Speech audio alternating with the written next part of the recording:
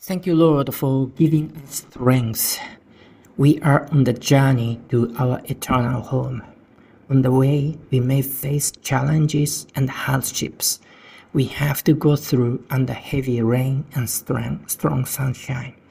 We have to climb mountains and go down dark valleys.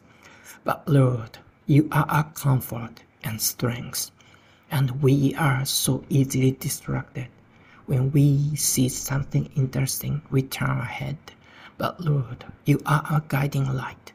Even if we lost the way, you will find us and bring us back to you.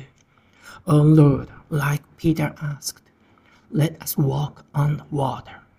Strengthen our walk of faith. We will step out from a comfortable zone to follow after you. Wherever you are, that where we want to be. We love you, Jesus. In Jesus' beautiful name we pray. Amen.